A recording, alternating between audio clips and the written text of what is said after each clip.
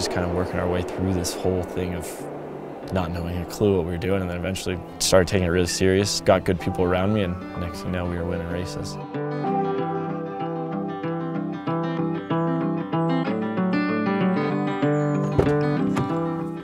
At the races, there's a lot going on. There's a lot of pressure, I will say. Especially nowadays, you know, I got a lot of people relying on me and all the sponsors and stuff. So I love to just get in the van, go in the middle of nowhere, go ride my bike, hopefully not see another person for a day or two. and yeah, just enjoy life. I think it's kind of like a good reset.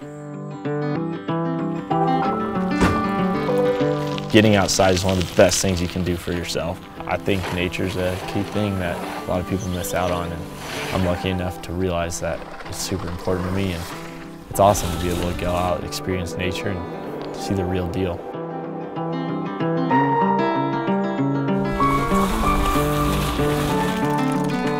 My Ford Transit van is kind of that do-it-all, Swiss Army knife. I have all these different hobbies, you know, the skiing, the mountain biking, the, and it's really hard to have one thing to do it all. You know, you, with this platform, it's awesome. I can pile in a bunch of friends. It's just built to go, and you don't have to plan. That's what I love about adventure ready things. Is like they're just ready to go take on that adventure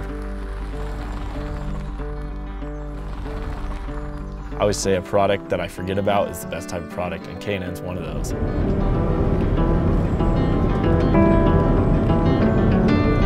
Uh, in 20 years, I hope to look back and just go, dang, I lived life. Because, you know, 20 years isn't promised, so that's what I always am like, got to live life now and no regrets and just enjoying it, everything that came in front of me.